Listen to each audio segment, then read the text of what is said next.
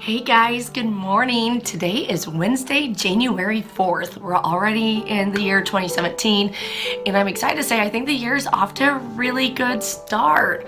Um, we had our weekly staff meeting this morning. We ran the numbers, and one thing I just want to mention. Um, the numbers actually reflect end of December 2016 and end of December 2015. We're not quite a full week into January, so we, you know, can't speak to that set of numbers. But um, things are changing. Um, I know the past couple weeks as agents, we noticed our phones were ringing more. Uh, we were getting more showing requests, um, which was all really encouraging. Unfortunately, the numbers support that. Um, in fact, our inventory is up 15% over last year. At this time, uh, 15%, that's not that many homes. Um, just a few more properties.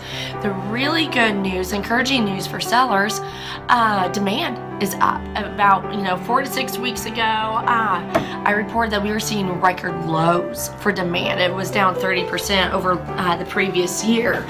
Well, um, good news is our demand remains unchanged compared to last year this time. So we've actually had an upswing in demand.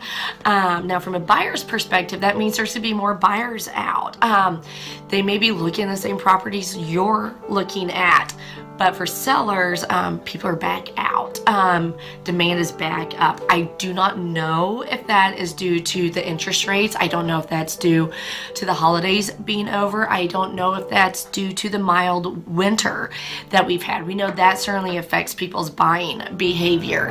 Uh, mentioning interest rates. Um, I've been following those. Those have honestly been all over the board. They've been quite uh, fun to watch. Last Wednesday, uh, interest rates were 4.375%. Um, On Friday, December 30th, they were down to 4.125%. Then yesterday, 4.375 or um, 4.375%. Then just about five minutes ago, um, a 30 year conforming loan was 4.125%. So interest rates are literally bouncing.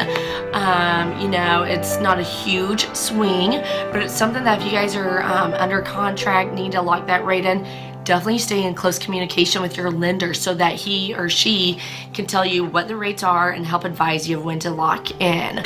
Um, if you are considering buying, uh, might be a good time to go ahead and get that process started.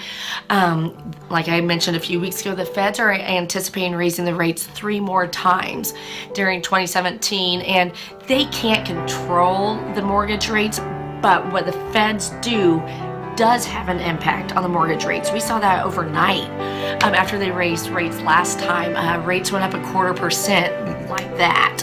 Um, so interest rates, I do know, are affecting buyers' behavior. Um, I don't know if that's the reason why demand has increased, but um, seems like 2017 is off to a really good start. Um, it's encouraging, it's motivating. Uh, if you guys have questions about your neighborhood, your price segment, interest rate changes here and there, give me a holler. You can call me, uh, you can text me, you can email me, Facebook me, uh, whatever works best for you. I hope you guys are also having a really good start to 2017, and I'll see you guys next week. Bye bye.